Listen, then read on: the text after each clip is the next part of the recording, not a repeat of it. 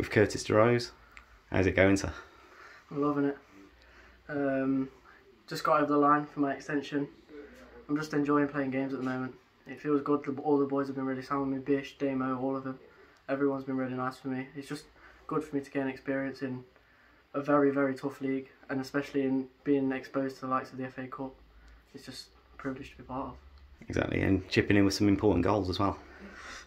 Well, today, my eyes just lit up. Um, it's probably one of the best. Like as a kid, you dream of scoring in big competitions, and FA Cup being one. Uh, just taking it in my stride and just enjoying it at the moment. A little bit of a hot streak as well, two in two in the FA Cup.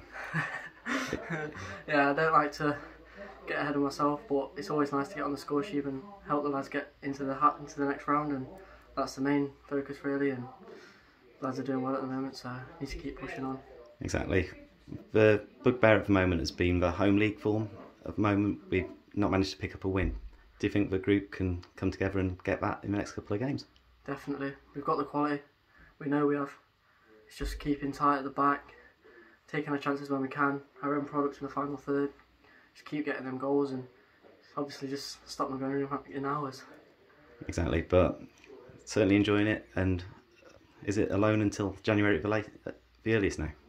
Um, yeah, I know, all I know is that it's been it's been extended till January. Um, like I say, I'm just taking it game by game and just hoping I can keep getting exposure and trusting the lads and trusting Bish and I know they can hopefully trust me as well. So just having that trust between us and hopefully I can keep kicking on and get to where I want to be and get the team where we want to be and pushing for promotion. And personally, from your point of view, are you getting lots of positive feedback as well from Rotherham? Obviously, they're Um, keeping track on your performances as well.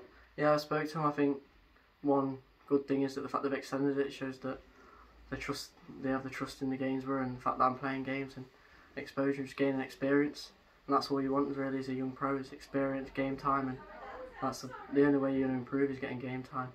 Exactly, but certainly enjoying watching you play. Keep on keeping on. Cheers, thank you.